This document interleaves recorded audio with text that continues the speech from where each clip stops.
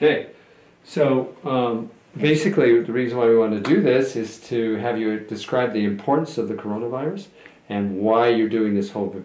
Okay, so um, everyone's aware of the hot topic of the coronavirus, and so the official name of this virus is called um, SARS coronavirus 2, and the disease that it causes is called COVID 19 and it's the seventh known coronavirus to actually infect humans. Four of them cause the common cold. There's one that's called the SARS-1 from 2002, and then 2012 there's one called MERS, which is the Middle East Respiratory Syndrome, and now this one. And why is this different? Well, this virus is completely different to the other coronaviruses is the way it enters the human cells. Most coronaviruses enter the cells through a receptor called the ACE2 receptor, and this gives it a little bit of a process to enter into the um, to the cell.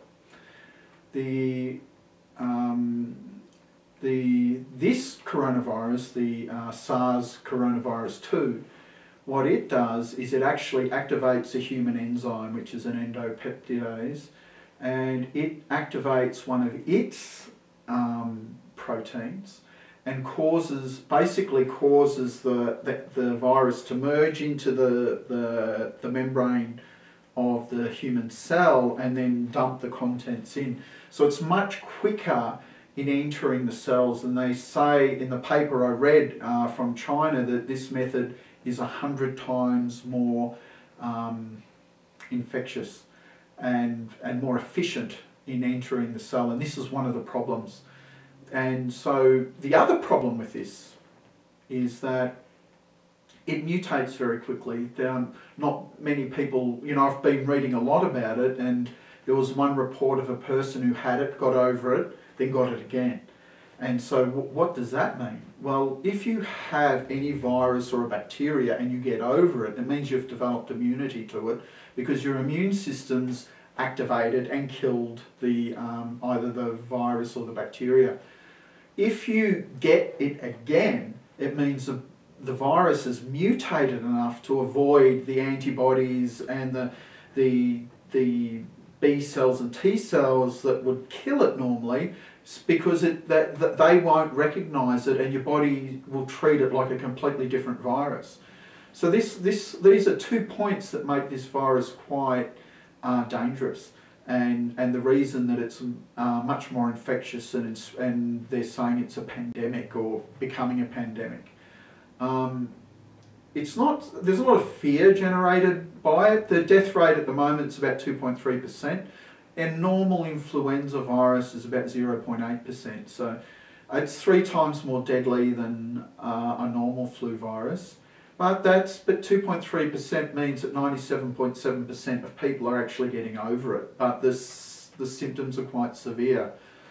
Um, once I had all this information, in, in true typical NK fashion, I've actually put together all the um, all the formats and, and, a protocol that targets this, that targets the virus.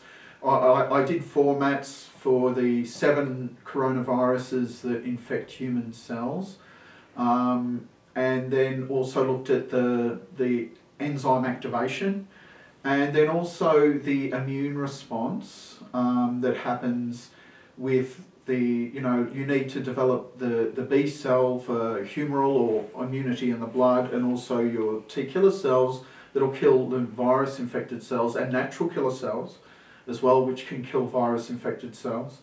So that needs to happen. But also, I was sent another paper uh, by a friend of mine, Carrie, and she sent me a paper on the um, the pathogenesis of the, this new coronavirus, and it actually listed all the interleukins, which are pro-inflammatory interleukins, that have been found in high numbers in the people who are infected by this. What does that mean? It means the macrophages are in the M1 phase, which is they're in pro-inflammation phase, and they're releasing all these pro-inflammatory uh, mediators.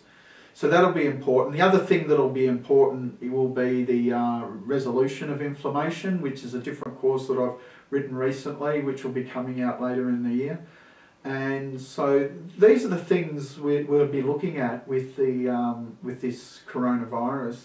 And so having all this information, I've put together a course, a one-day course for people who practice NK, so they can use the NK formatting and target actually this and use it uh, with their clients or even as a prophylactic for balancing people. So, you know, to you know, NK is not a, a therapy; it's it's a stress management system. So the idea of the course will be to remove stress from the system, so we can, um, you know, help people and boost, de-stress the immune system. Specific pathways to do with this virus.